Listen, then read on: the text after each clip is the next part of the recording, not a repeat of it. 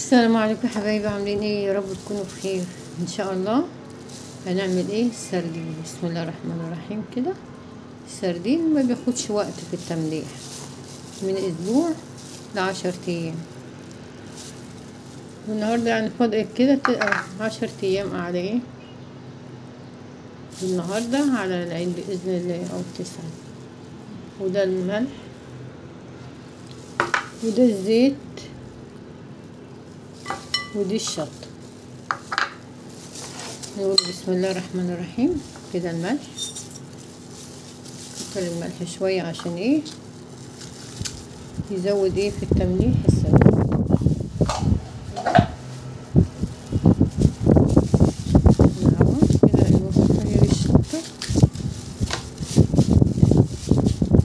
كده ملح وشطة عايزين تحطوا تحطوا مش عايزين ما برضو إيه بياخد الحاجة من اي بسم الله الرحمن الرحيم. اهي حبايبي السردين كده.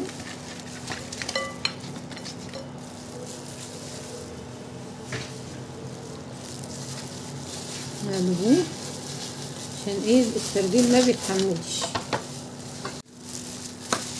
كده يتقلب. مفيش إيه اسهل من كده.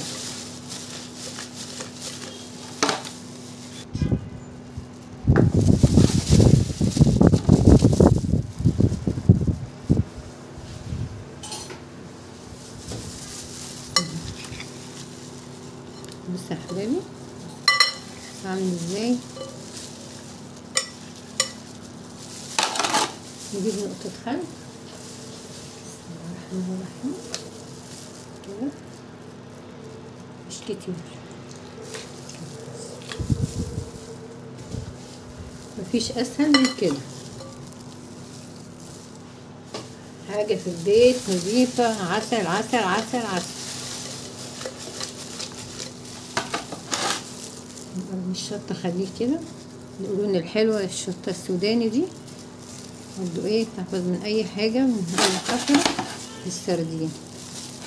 كده نجيب كيس ونعبيه يتكل ني كده.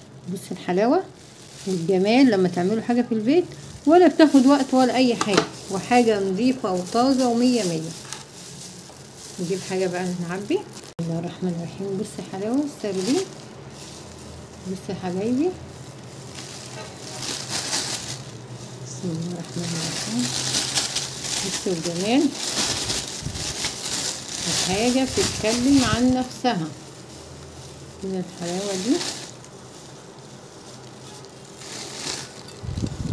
الشطة الحلوة السوداني دي. بتحفظ أي حاجة بتملحوها.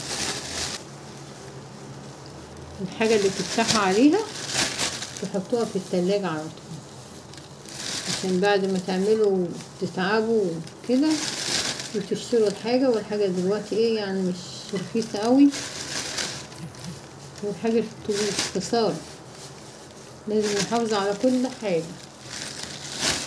عشان ربنا يدومها علينا.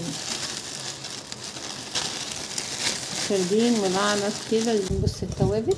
بص دقة. بص الجمال ما شاء الله. حافظوا عليها عشان ربنا يدومها علينا يا رب.